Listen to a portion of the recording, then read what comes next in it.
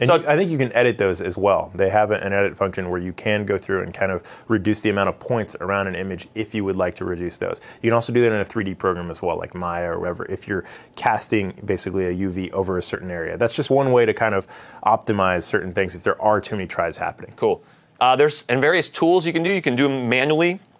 Uh, you can go into your favorite tool to do it. There's uh, third-party tools like Cruncher. I'll show you a quick demo. Cruncher, Mixamo has a neat one. Decimate, uh, Decimator, Blender has one built in. You can get called Decimate.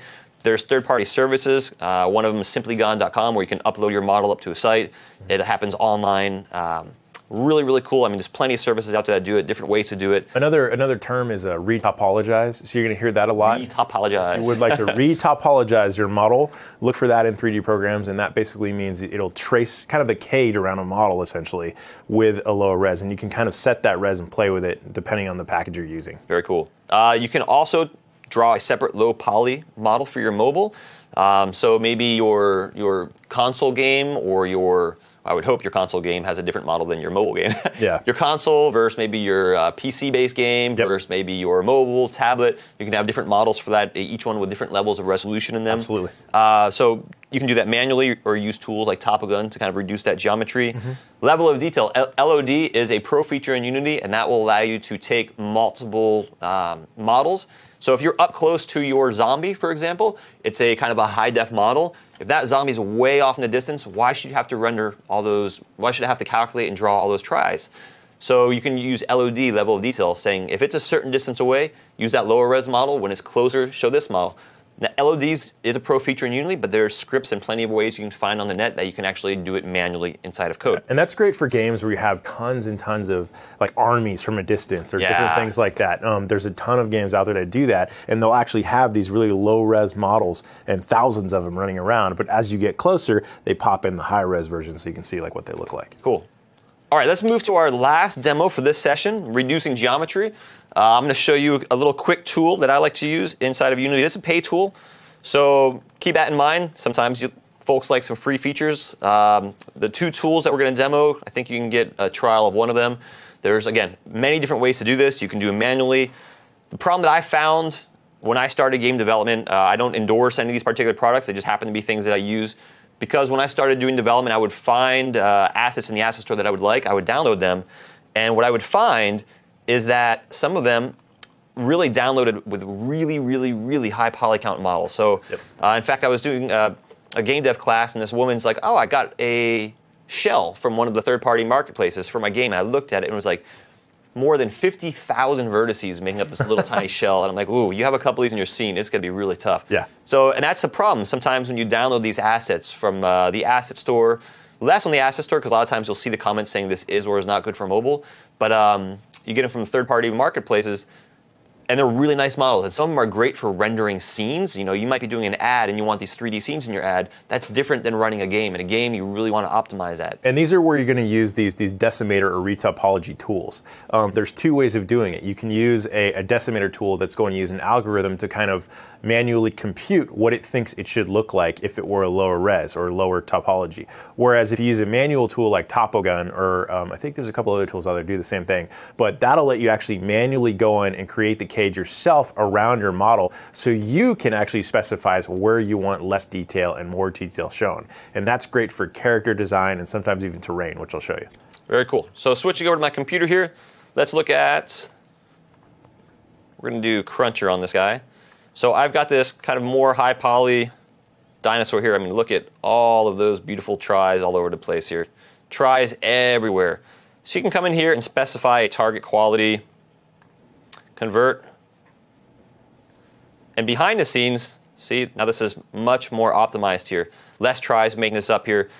It's non-destructive. It will actually go into your base model and you'll find that you get different versions of it created that have different um, uh, different poly counts on it. So you can you can tweak this out a little bit, change them around, create different ones, experiment with the settings on here. Say, you know what, I do or don't like this particular. Um, maybe this is too much for me. In fact, I remember the zombie kid I was messing around with the other day, and I Took it made way him, up and- took it way up, and he had like this little head that was this tiny little long cylinder. So you can actually go way, way overboard with this. And sometimes you might not even, if you're doing low poly models from the start, like for example, our pumpkins and our zombie guy, they weren't exactly high res to begin with. They weren't a ton of tris.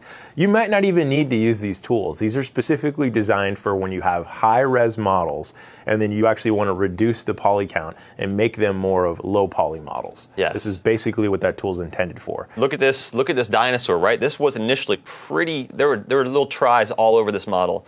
I just cranked these settings way down, and look at this guy now. This is probably pretty good for mobile. One might even say you could probably go down a little further, and you can see you get this nice blocky effect here, which you'll notice on a lot of mobile platforms. But generally, it's a smaller screen, so you don't notice it as much. And when you use tools like TopoGun, if you notice what it did to his head, it kind of distorted his head a little bit in that model. And let's say you wanted to make that a lot more precise. That's when you use a tool like TopoGun, where you could essentially retrace that head how you want to with less polys and get more of the look of the character that you're trying to do in more of a low poly look. With that, why don't you show us a demo? Okay, absolutely. um, so we're actually just going to use um, the terrain in Unity. Um, let's see. Do we have the terrain export tool in here? Let's see. Want to show folks where they can get that? Yeah, absolutely. So if you go online and just search for terrain export script for Unity, uh, terrain OBJ exporter in the Unity community wiki, um, just look for this specific script. And it's going to give you two versions. It's going to give you the JavaScript and the C Sharp. I always download the C Sharp script. That's just the one that I always kind of Yeah. use when I'm making my stuff. Um, so you just want to download that script. Um, and where is the download for that script here? Or actually, no, I think you just copy it and make a new script and paste it into there. So we'll just copy this script. And we're going to make a new script. We have to put into, do we have a scripts folder in here? Actually, we have to put it in editor. We're gonna make a new script. We're going to edit this script. Yeah, just double click on it to edit.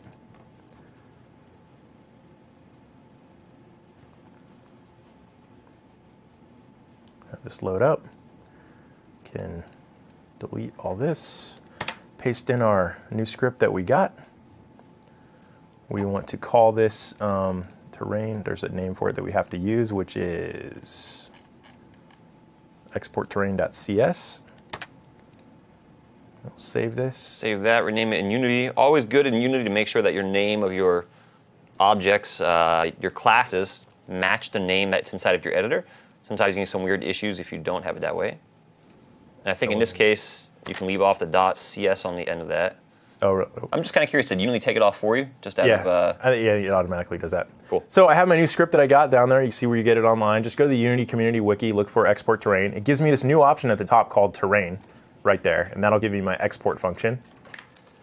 So we're just going to make a new scene here to demonstrate what we're trying to do. I'm going to create some Unity terrain. So we're going to go to our game object. I'm sorry, component. I forget where's the terrain at? game objects. Now they moved under game Oh, objects change it. 3D. 3D object. That's They right. just uh, they just 4.6. reorganized these menus. So we go to game object, we go to 3D object, we're going to go to terrain, make our terrain.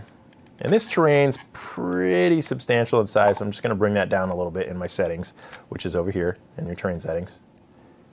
Click on the little gear icon there. Click on the gear. Um, 2000 by 2000 is huge. Huge. So I'm just going to bring that down to 200 by 200. And the max height we'll just put it 30. Uh, maybe 60 for now. Sounds good. Go back in on our terrain.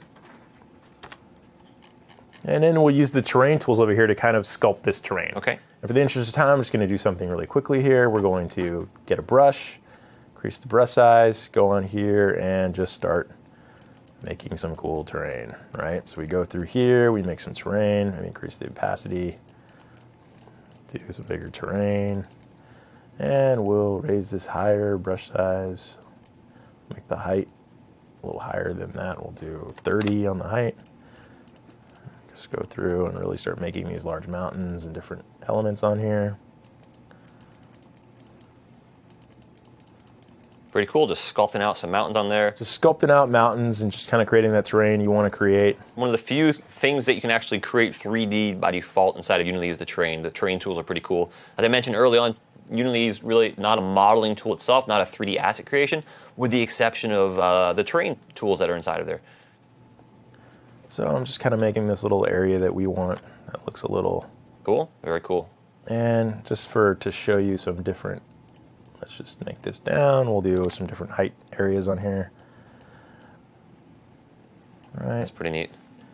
And that's always a good way if you're, trying to make these kind of plateaus that you want your characters to jump down on and stuff. I always like to use the uh, paint height tool, set the height, and then you can just kind of paint those heights. So you can have these multi-level areas that you want your characters to move on. In other words, that just maxes out. You can't go any higher than a certain. Exactly, and it'll even flatten it out for you too, which is great. Um, so for here, you know, I've got these different heights, and then I'm going to do another one that's maybe a little smaller. We'll do it at a five, and maybe make it a little smaller so we can do like a crevice. I'll go through here, and we want this little kind of valley, right? And we want little areas in there that you know, the character can kind of travel to and what have you. So we have this little kind of canyon that we've created right here.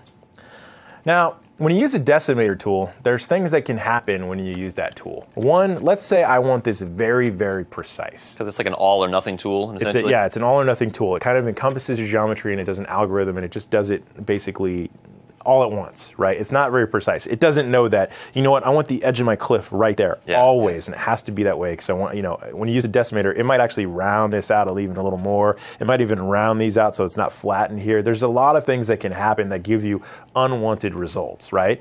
But if you're using it for geometry that's in the distance or other things, it's great, right? It's it's more, I'd say distance related stuff, it's a lot better for when you use these automatic tools. But let's say I wanted this exactly like it is, but right now there's just way too much geometry to get this to run on, let's say, a mobile device, right? And I want to really, really make it as, as good as it should be. What I would do is I would use a tool like TopoGun. And you'll notice a, a lot of industry, big industry companies use TopoGun to do their characters, do high, high res characters that you sculpt in a sculpting program like Mudbox or ZBrush. You can actually take that down into a program like TopoGun, get very close to the same result with like a third of the geometry or Wow. maybe even a tenth of the geometry that you had before. You bake all that detail in.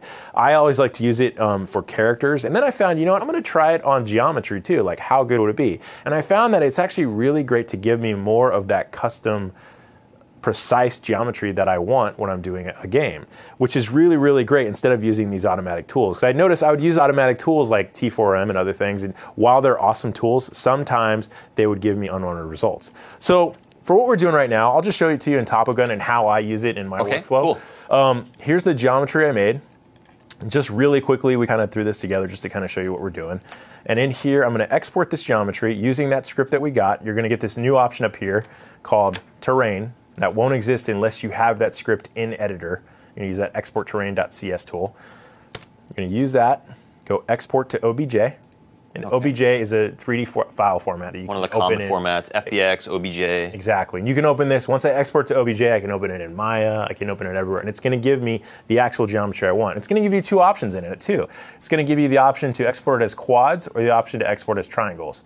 I'm gonna export it as quads because most 3D model programs, programs that you use, you can actually model in quads and it makes it a little bit easier. Okay. Triangles becomes more of a headache. Even though Unity uses triangles, it's good to export this in quads so you have more of an editable model that you can use. Ah, I see. So you can also you can also export it in a specific resolution, and it will degrade it for you when you do that. So we're going to export it in full resolution with quads. Let's export our model. We'll export it to our desktop. We'll just call it terrain for now. Export that OBJ, and then it's going to save out that OBJ for you. It's a really, really great script that somebody wrote for this. It really, really helps out a, a ton. Highly recommend it. Thank you, Um, whoever wrote that script. exactly. But I think his name's on that Unity wiki. Um, so if you, you now that we have our terrain exported, we'll close Unity. Well, let me close some of this other stuff I have. We'll go into TopoGun, and this is TopoGun. And TopoGun you can get on topogun.com. They allow you to download a trial version, but you can't save out anything, which is we won't be able to save this out, but I can kind of show you how to do it in TopoGun. So once we're in TopoGun, the controls are very, very similar to Unity and or Maya. If you use Maya, you use Alt to kind of navigate around and come in and out. You can use F to focus on things exactly the same way. Um, you're going to want to set up a project, which we had already done. and then you're going to want to load in they load in your reference object right here. So you click mm-hmm. load reference, and then from there we go to our desktop. We find that terrain object that we created, and we load that in. And it brings in that terrain, and there's our terrain we exported from Unity. Wow. See it right there, right? So it sees everything, everything exported, located, imported.